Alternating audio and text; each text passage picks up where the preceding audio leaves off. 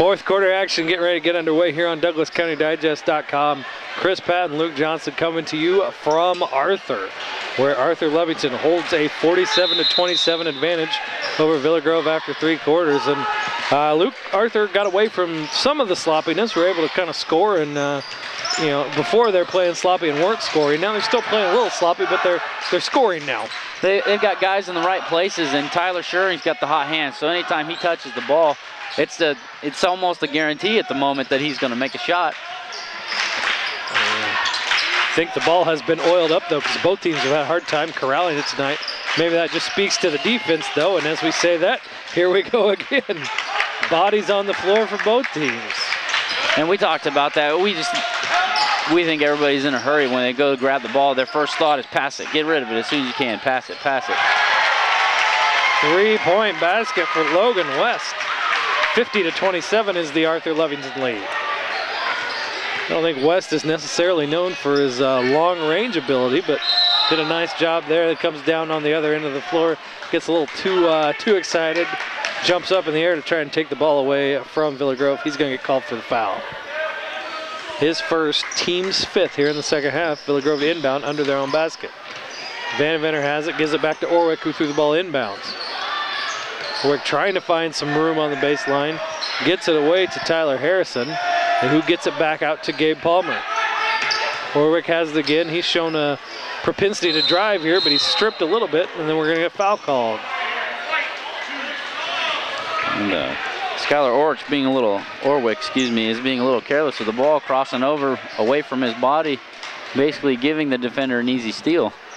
Caleb Schrock called for his second foul, team sixth. Lucas Vandeventer with it, guarded by Tyler Shurry. Vandeventer, other than early on, hasn't had much of a look at all tonight. Shot put up by Hubbard. He knocks that one down. Austin Hubbard has 10. And 50 to 29 is Arthur Lovington's lead. Six and a half minutes left to go. Schuring's going to drive, pulls up from his familiar spot, misses it, rebound pulled down by Logan West, puts it back up and in. Arthur controlling some offensive rebounds there. Both teams did a decent job in the early going on offensive rebounds. That would not get tipped. All right, a little confusion on if the ball was tipped there or not. One ref uh, wasn't going, uh, didn't think it got tipped, but it did get tipped by an Arthur Lovington player, so Villa Grove's going to retain it. It was not an over and back. So we'll get started up again here. Six minutes left to go in the game. 52-29, Arthur Lovington. Poked away there by Clayton Hahn. It's going to remain once again with Villa Grove. So sophomore guard Tyler Harrison to throw it in. Gabe Palmer puts his shoulder down, gonna drive, lays it up, no good. He's gonna go to the free throw line though. Foul on Curtis Plank, his second, team seventh. I was about to say we were not seeing a lot of urgency from Villa Grove until uh, Gabe Palmer there drove to the basket to get a foul. Shot up and good for Palmer. And they showed that urgency in spurts. They showed it earlier where uh, really took over and went to the basket.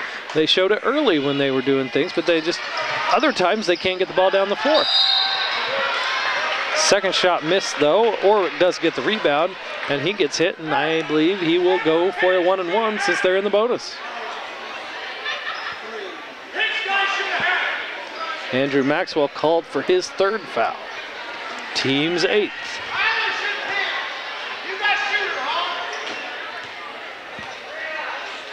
Skylar Orwick puts one up, and it's good.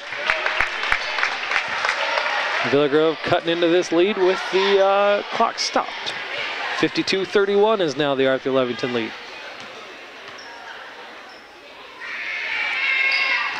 Orwick makes them both. Back to a 20-point Arthur Lovington advantage. Feeding it inside, Hahn gets it knocked away. Vandeventer brings it back. Austin Hubbard's going to have it for Villa Grove. A foul called against Arthur Lovington. And uh, we kind of switched halves here. Arthur's now starting to be a little, overzealous with their defense and uh, picking up a lot of fouls. That was, of course, the case earlier on in the game in the first half. Villa Grove had nine fouls when I think Arthur had two. Uh, so, like you said, teams kind of switching who's aggressive, who's overzealous. Austin Hubbard with a free throw. He makes it. Nice night for Austin Hubbard tonight. He's got 11 by my count. Well, he's been getting better and better every game we we do for Villa Grove. The first game he was just kind of a role player, hustling and scrapping, playing defense. Now he's almost he's turned into an offensive threat over time. Makes two free throws there, 52-34. Arthur gets it down the court. Clayton Hahn has it. Tyler Schuring gets it back. Maxwell with it. Curtis Plank. We'll see if Arthur goes away from an attack mode into a uh, into more of a spend some time, look for that absolutely perfect shot. Clayton Hahn with it. He's going to drive, pull up shot. No good, but Maxwell almost pulled it down. As it was about to go to bounds, saves it off a Villa Grove player. It's going to remain Arthur Lovington ball. And uh, I think Coach Schuring wants to finish this game with some more consistency, better looks on offense, not not the sloppy play that they've been having so far here in the second half. We'll see if the Knights can get away from that. It goes into Hahn, who has it. Gives it off to Jeremy Plank. Plank goes to his left, tries to find a cutting Nick Martina. Instead, throws it to Skylar Orwick, who then throws it to Clayton Hahn. Tried to save it, can't do it. Villa Grove ball. Brandon Coberlin into the game for Villa Grove, going to replace Tyler Harrison. And uh, Villa Grove's gotten rid of some of the Arthur pressure by having Skylar Orwick, a forward, bring the ball up instead of their guards.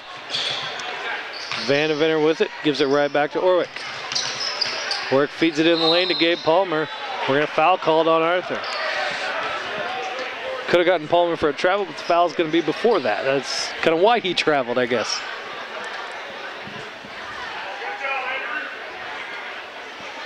Foul's going to go against Andrew Maxwell, his fourth now. Team's 10th. First free throw good.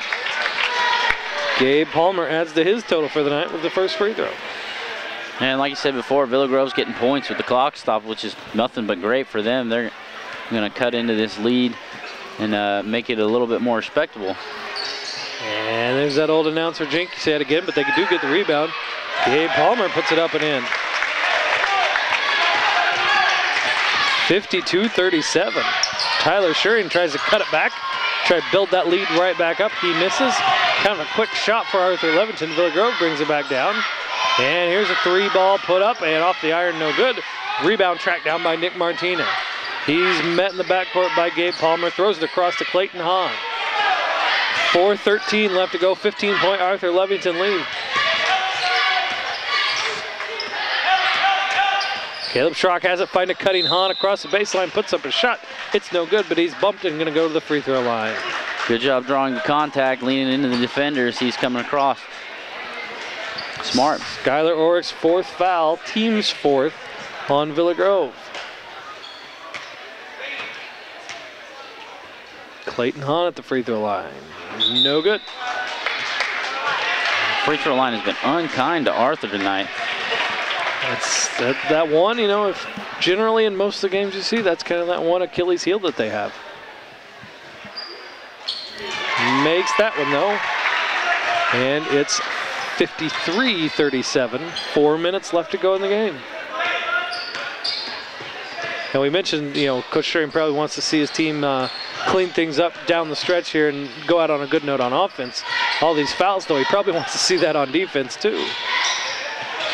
See if they can cut down on the fouling and quit sending Villa Grove to the free throw line. As we say that, uh, Villa Grove uh, almost loses it, Gilbert Nieto, but he does get it back. And we're seeing some good tight defense here. Palmer's going to his right. Coberline gets it now, and he's trying to spin any way he can to get away from Jeremy Plank and just can't do it. Tries to find a cutter, and uh, Arthur Lovington hands in there, knock it away. Schuring ends up with it, and he gives it off to Caleb Schrock. Schrock thought about pulling up, find a man along the baseline. Instead, two-pointer good for Jeremy Plank. His first two points tonight, and then we get a steal by Arthur Lovington. Schuring puts up a three, no good. Rebounded by Austin Hubbard. 53-37. Villa Grove gets it ahead, tries to throw somewhat of an alley-oop to Coberline, taken away by Arthur Lovington. Clayton Hahn has it. He's going to drive in and pull up for a jumper, and it's good. And a 30-second timeout called here after Clayton Hahn knocks that one down.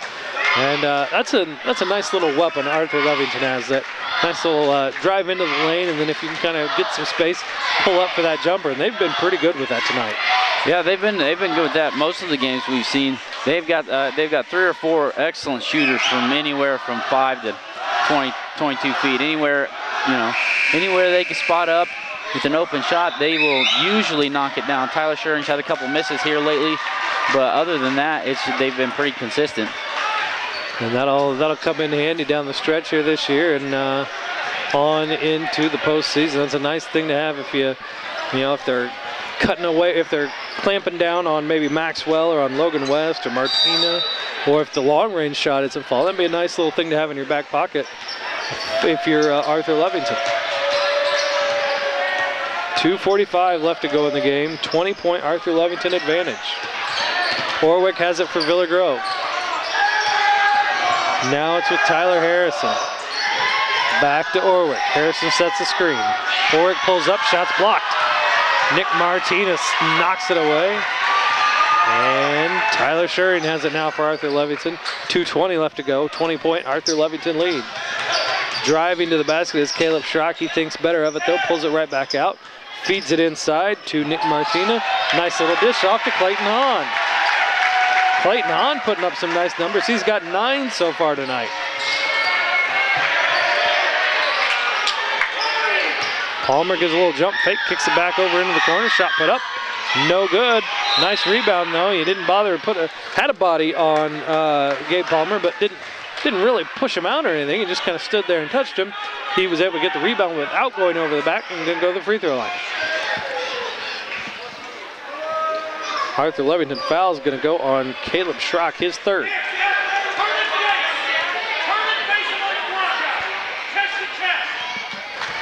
Shot up and good for Gabe Palmer.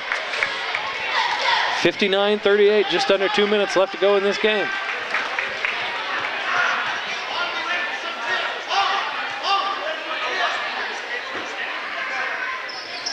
Second shot, no good. Fight for an offensive rebound, though, and it's kicked back out top for Villa Grove. Is going to put up a long range shot. There we go, another look for Lucas Vandeventer, and we get some bodies hitting the ground. And Villa I think, is going to call a timeout.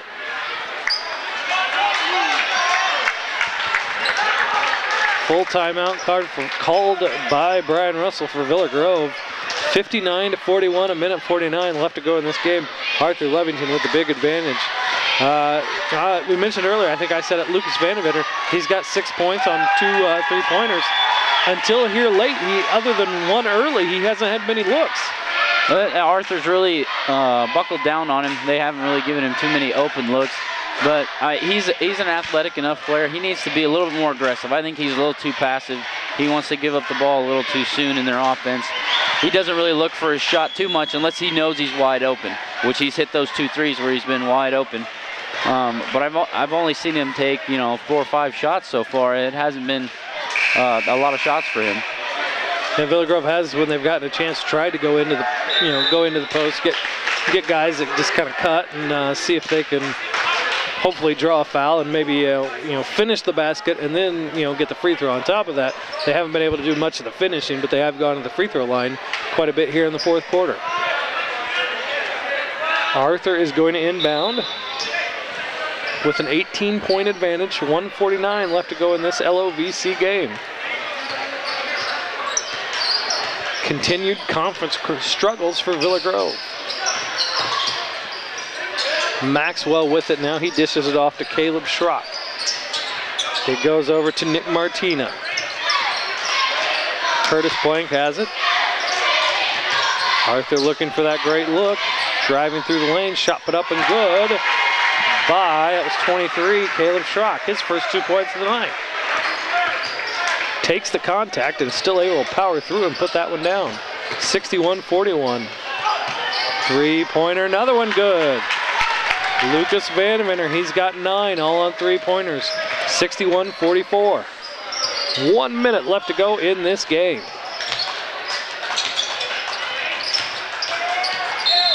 A little drag of the foot there by Evan Siegmiller.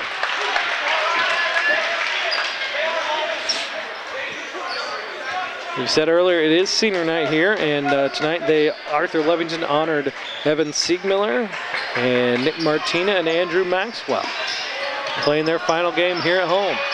Siegmiller gets his hands on that pass, but Orwick is able to get it back. Vandeventer has it now. He thought about pulled up for a two. Kicks it right back out to Gabe Palmer. 35 seconds remaining. We're going to foul. Called against Arthur Lovington. Going to send Villa Grove to the line. Was a good aggressive drive by Gabe Palmer. Drove right into the hip of the defender. Easy, easily a block call. Caleb Schrock with his fourth. Double bonus time for Villa Grove, so there's two shots here. That one is good. Points starting to add up for Gabe Palmer. He's been to the free throw line a few times here as of late. Misses that one, almost got in there to get his own rebound. Instead, it's taken away by Nick Martina, who gives it to Curtis Plank. 30 seconds left to go. Let's see if Arthur is content to just run out the clock and if Villa Grove's content just to play straight up defense and let them do that. And we are under 15. Now we're about to be under 10 seconds left to go in this contest. That's going to be it. Under five now. And that is the game. Arthur Lovington 61, Villa Grove 45. And, you know, Luke, uh, we talked before the game a little bit, and maybe, uh, you know, maybe Villa Grove, after struggling against Martinsville last week and losing a heartbreaker, uh, you know, maybe they just might not be able to, to kind of hang with Arthur Lovington, but they did a nice job tonight for much of this game, sticking around and being a thorn in the side. Yeah, they were close throughout. Uh, they they ran into some difficulties with some turnovers. Um, they got into foul trouble early in the first half, which kind of hurt them. But again, Villa Grove has turned out to be a, uh, a fourth quarter team. They uh, make large runs when it comes down to the end of the game to make it as close as they possibly can get it. And some some of the games they've gone into overtime. Some of the games just you don't get it with the last second. And uh, Arthur Arthur a little bit sloppier today. They uh, they didn't play like they have played before. They came out with the win, and like you said earlier, it could have been all the festivities we had before the start of the game and the fact that um, they were looking at the uh, the bottom feeder, the the LOVC conference tonight, and they thought that they could just come in and uh, walk all over, get an easy win, not necessarily walk all over them, excuse me, get an easy win and just ride it out and head on to the next game, maybe planning to uh, advance to whoever's next on their schedule. And like we said, right around you know halftime, we expected we expected a different look from them after halftime, and we definitely did.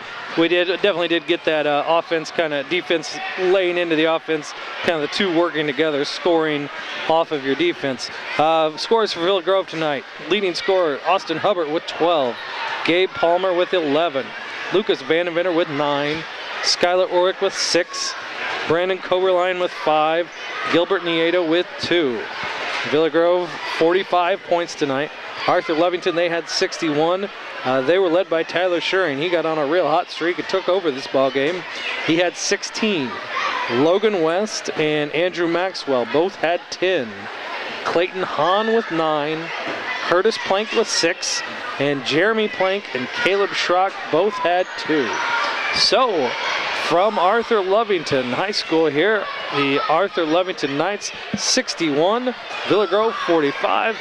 This is Chris Patton for Luke Johnson saying thanks for watching high school, bo- high school boys basketball on DouglasCountyDigest.com.